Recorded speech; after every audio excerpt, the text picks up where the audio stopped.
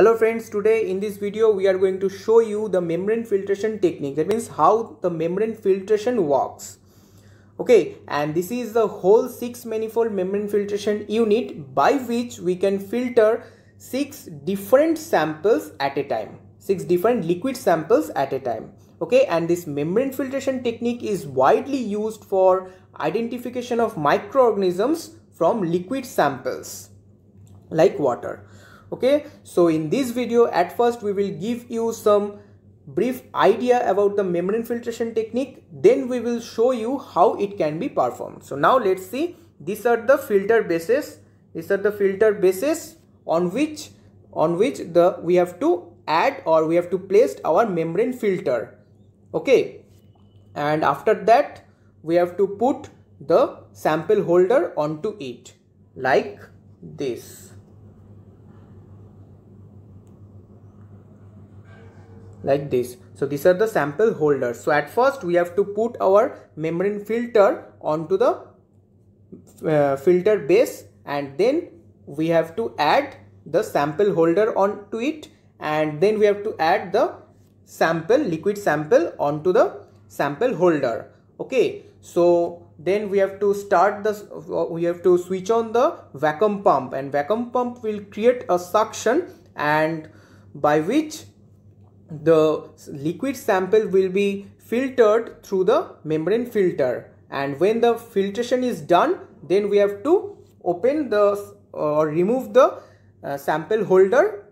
And we have to take the membrane filter. And this in this membrane filter all the microorganisms which are present in our liquid sample they are trapped in that membrane filter. So we have to take that membrane filter and we have to add it into the specified agar media or specified broth media. So after incubation if any growth or any colonies are present in our specified membrane filter then we can say that in that sample the micro that microorganisms are present. So in this way we can identify specific microorganisms which are present in our specified liquid uh, samples or not. Okay so this in this way the uh, in this way we can identify the microorganisms through this membrane filtration technique.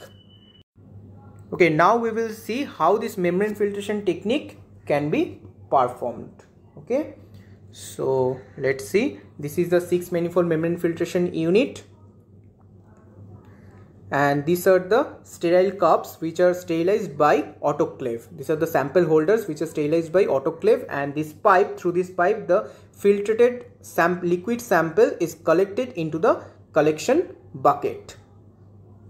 Here. And here we can see two pipes are there. This is the one pipe this is another pipe. So in this pipe through this pipe the filtered water the filtered water collected into the bucket and through this pipe the suction is created by the vacuum pump. Okay? So now let's see this is the vacuum pump through which the suction is created.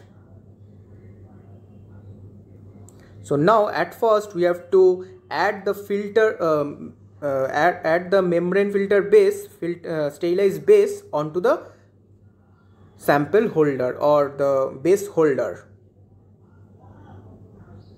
so at first we have to and these are the sterilized base because we have to sterilize it by the by autoclaving.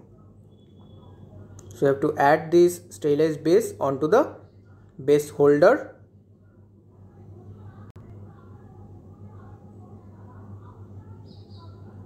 And then we have to and after that we have to add the sample holder onto it but don't we have to lock it? Because after we add the membrane filter then we have to lock the sample holder. So now we are adding the sample holder onto it. Just put on it. Just put on it. These are the sample holders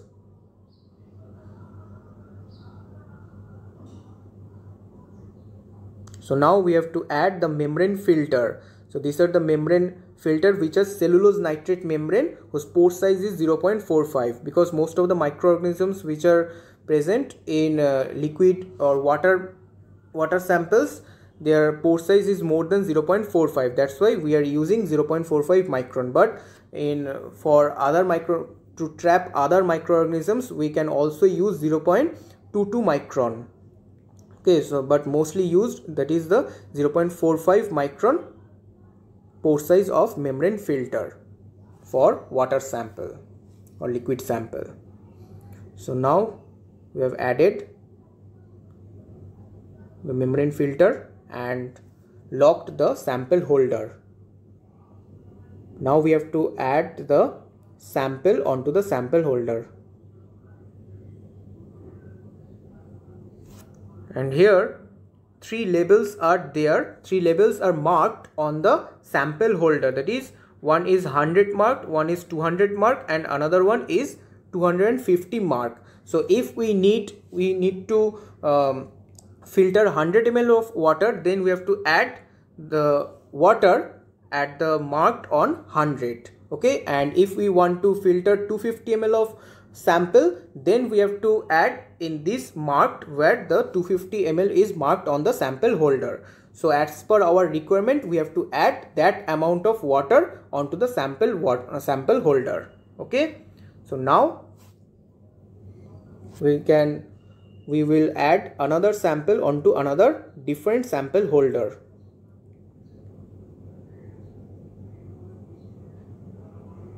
So all the so all different six different samples are added to sample holders different sample holders. Okay.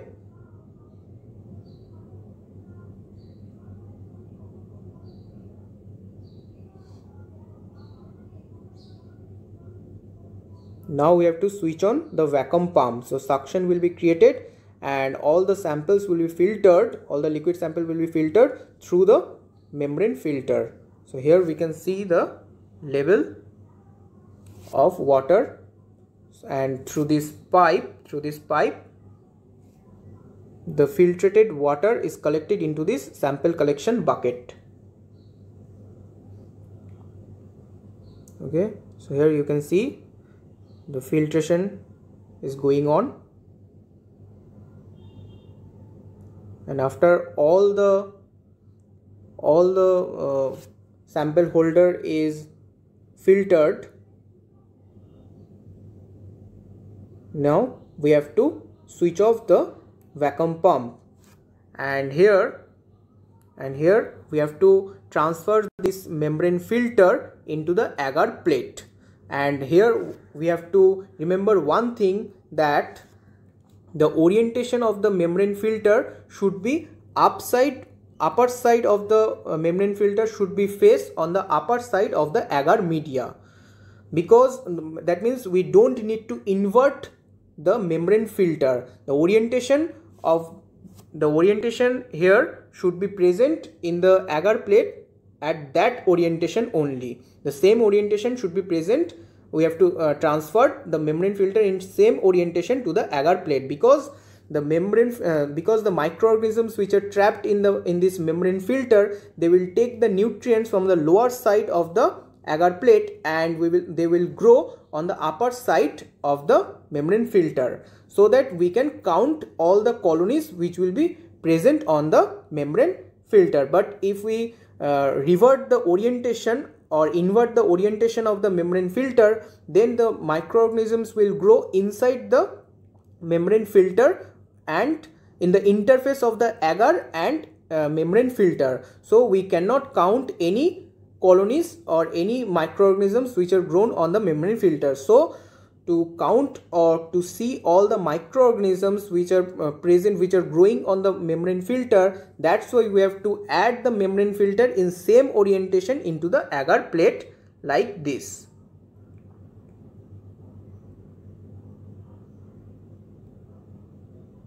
okay? So thank you for watching this